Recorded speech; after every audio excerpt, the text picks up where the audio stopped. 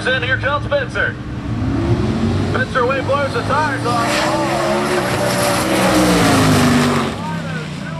2 for Brett Hall to a five.